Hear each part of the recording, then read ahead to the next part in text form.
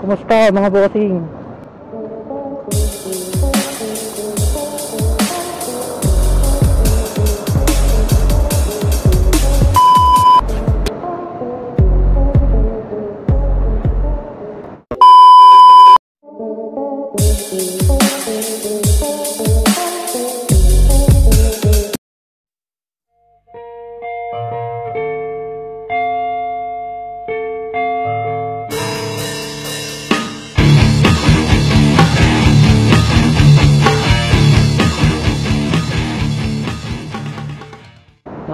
Nakakalungkot, di ba? Na-extend yung ano, ECQ. Hanggang May 15, sayang. Muntik na. Nga lang, na-extend. So, ayan mga bossing, ah, gamit natin NMAX. So, pahinga muna yung Mio. Mio Salty, pahinga muna. Actually, puro pahinga nga eh. Hindi nagagamit. So, ngayon naka-NMAX tayo. So, mga bossing, um, ano ba yung mga, ano ba yung astig? NMAX ba o Aerox? So, comment nyo lang yan sa baba. Alin ba yung astig? NMAX ba o Aerox?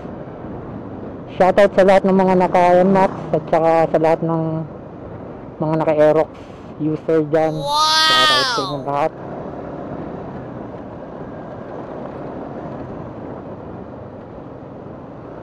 So para sa inyo, ah, ano ba yung ano ba sa inyo yung mas astig? NMAX ba o Aerox?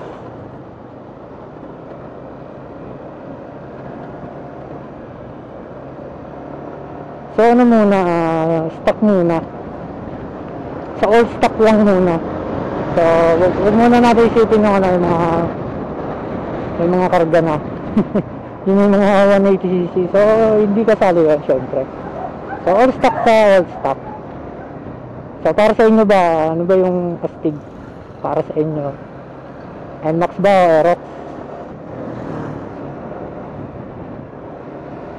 Ano lang, kukuha lang tayo ng idea kung ano ba yung mas astig si NMAX ba o si Aerox?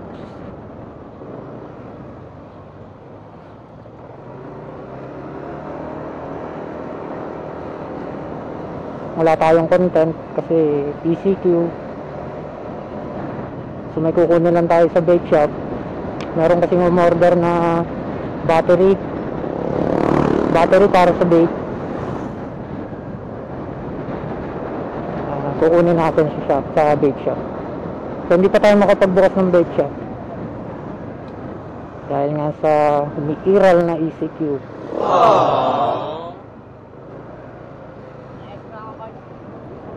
So para dito sa mga taga Kalamba, Kalamba area, dito sa Laguna, Kalamba City lang ha. Meron tayong online selling para sa mga gustong bumili ng vape para sa juice. So deliver natin yan. Uh, PM na lang kayo sa sa page. Rockstar Rider Motovlog. Nagigingalo na yung gasolina. Nakikita ba?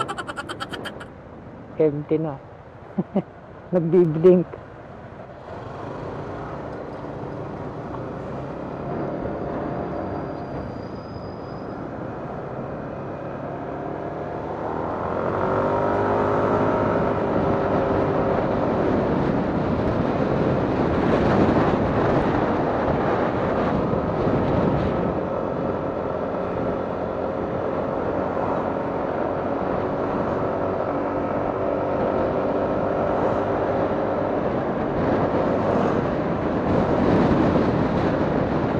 Pasensya na sa wind noise, papagas muna tayo.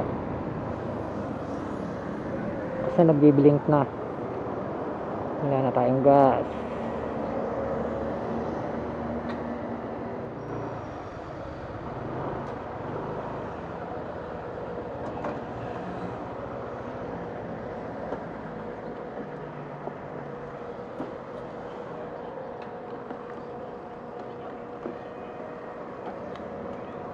Pula. Magkano sir? 100.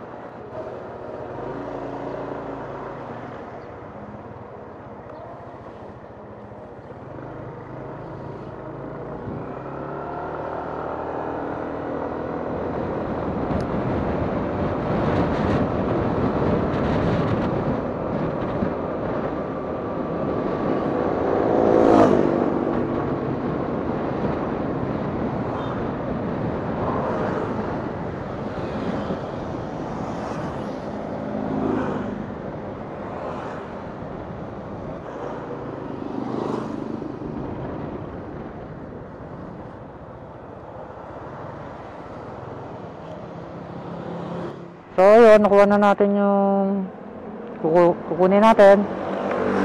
So ito, battery para sa bait. Makikita ba? Battery, tapos charger. Puro sa ano to ah, para sa bait. Charger siya na 2-bay, pandalawahan. So kumuha rin ako ng atomizer, ah, RDTA. Tank to, yung tank. Yan, SUS X. So, nagdala na rin ako kasi in case na may umorder through online. Kasi nga, hindi tayo pwede magbukas ng bait shop. Kita nyo naman, puro sarado yung mga ano rito, mga establishment dito. So, bawal magbukas. Pero merong nag-open dito, Muslim. Titigas ng ulo. So, ayun.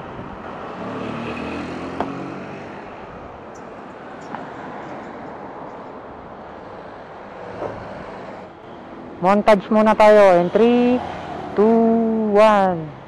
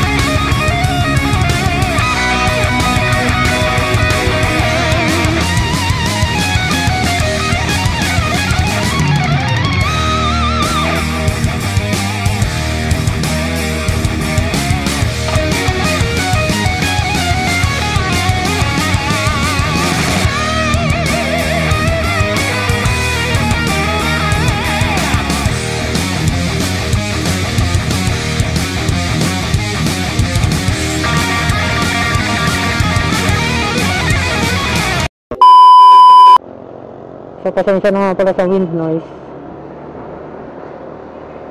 Naka-open visor kasi tayo.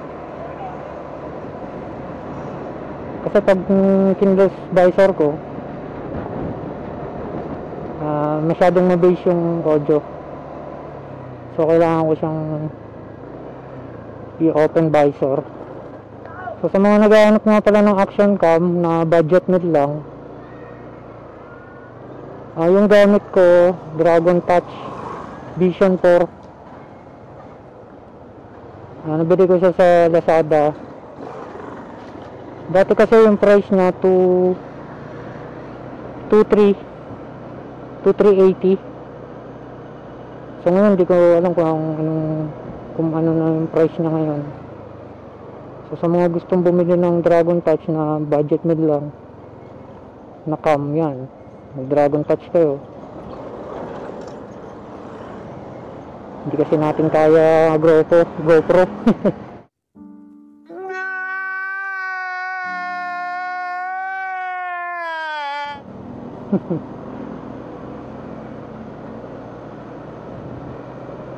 So, ito yung quality ng Dragon Touch.